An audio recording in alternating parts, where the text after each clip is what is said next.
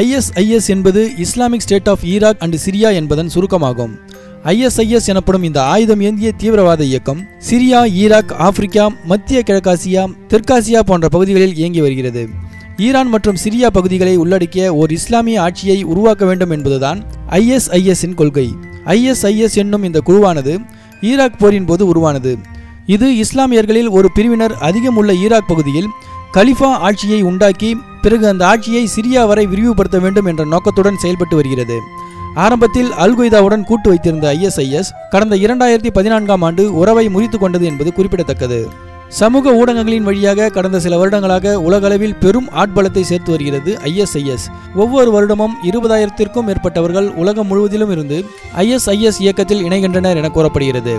America ஐரோப்பா Germany என தொண்ணூறு வெவ்வேறு நாடுகளிலிருந்து ஆட்கள் இணைகின்றனர். வரலாற்று புகழ்பெற்ற இடங்களை அழிப்பதில் இவர்கள் ஆர்வம் காட்டுகிறார்கள். இதுவரை விலை மதிப்பற்ற நிறைய இடங்களை நாசமாக்கி உள்ளது இந்த ஐஎஸ்ஐஎஸ் யுனெஸ்கோவின் உலக மரபு தலங்களை கூட இவர்கள் குறிவைத்து தாக்குகிறார்கள். உலக நாடுகள் அல்கொய்தா தான் மிகவும் அச்சுறுத்தும் வகையில் தீவிரமாக செயல்படக்கூடிய அமைப்பாக இருந்தது. ஆனால் கடந்த சில வருடங்களில் ஐஎஸ்ஐஎஸ் அவர்களுக்கு இணையாக மட்டுமன்றி அதற்கும் மேலாக தீய செயல்பாடுகளில் ஈடுபட்டு வருகிறார்கள் என கூறுகின்றனர்.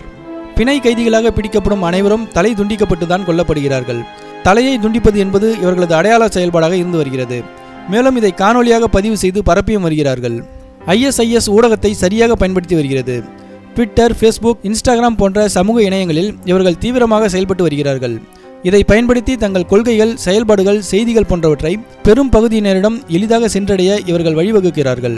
பணக்கார ஆதரவாளர்களிடம் இருந்து நன்கொடையாகவும் சில கொள்ளை சம்பவங்களில் கொள்ளையெடுத்த பணத்தையும் வைத்து இவர்கள் இயங்கி வருகிறார்கள். குறைந்தது மில்லியன் டாலர்கள் வரை இவர்களுக்கு தினமும் உலகின் வெவ்வேறு இடங்களில் இருந்து நிதியுதவி வந்த வண்ணம் உள்ளது. ஒருபுறம் இவர்களை மேற்கத்திய நாடுகள் உலகை அழிக்க பேரழிவை ஏற்படுத்தும் ஏஜென்ட்கள் என்று குறிப்பிடுகிறார்கள். ஆனால் ஐஎஸ்ஐஎஸ் இயக்கமும் அவர்களுக்கான உரிமை போர் இது என்று விளக்கமளிக்கிறார்கள். ஆனால் இதற்கு மத்தியில் அப்பாவி மக்கள்தான் அதிகம் உயிரிழக்கின்றனர்